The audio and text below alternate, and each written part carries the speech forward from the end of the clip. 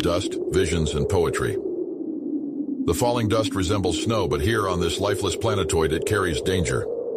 Zane reflects on fleeting moments of peace and an endless cycle of repetitions, quoting T.S. Eliot. The attractor deepens the mystery, creating fantastic illusions. Non-existent planets, ghostly beings, mysterious artifacts. Are these hallucinations or attempts at contact? Machinery slowly breaks down, dust prevails, and stars watch indifferently. An atmospheric recording from the edge of solitude and infinity in this new episode of Zane's Diary series.